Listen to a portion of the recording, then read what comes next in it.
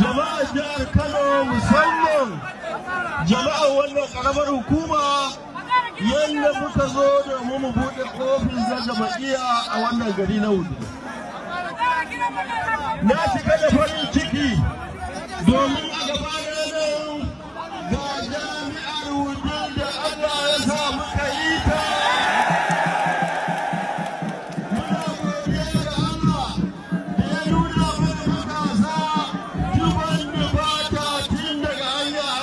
A wannan rana Rabi Kwankwaso shugaban ƙasa cikin yarda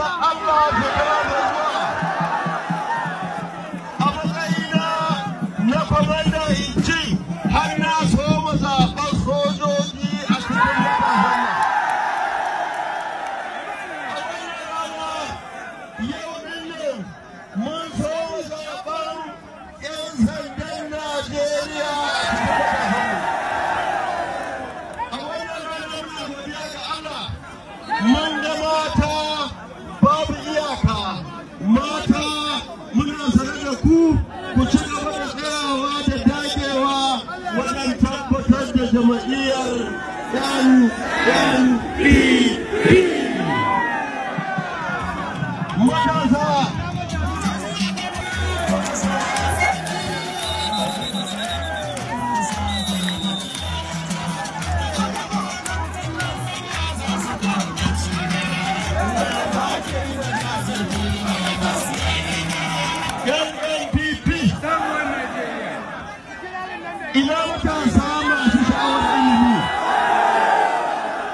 Idan da Allah ya yanzar da mu a wannan ƙasa ba biyan kuɗin waye, babu biyan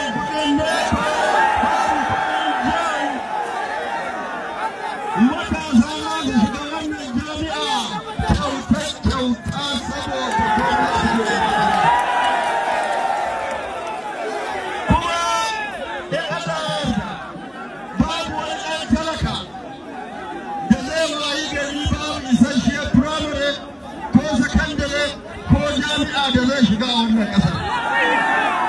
A wannan ƙasar in Allah ya yarda talaka sai ya samu sukuni, talaka sai ya samu gata, talaka sai ya zauna a gidansa cikin nutsuwa ga ruwan sha ga abinci ɗansa ya je makaranta matarsa ta kyauta a wannan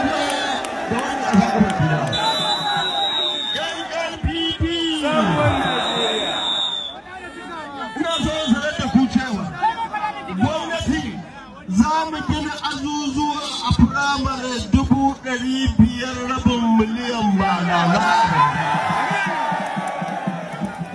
a wannan ƙasar in Allah ya yarda talakawa sai sun ba tare da an ba ko a nemi kuɗin fansa sai talaka ya je sana'a ba tare da damuwa ko tsangwama a wannan ƙasar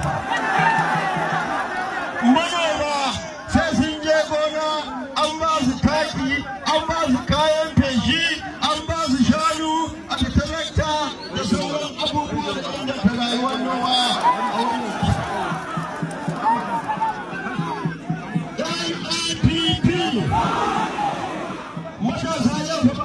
ce mun yi buɗe ofis ne kawai.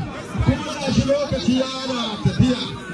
Amma na sani za mu zo tsari na musamman a jihar Kano. Mu wargaje mu tsari. Abin da ke cikin namu na NPP a wannan jihar. Na gode jama'a su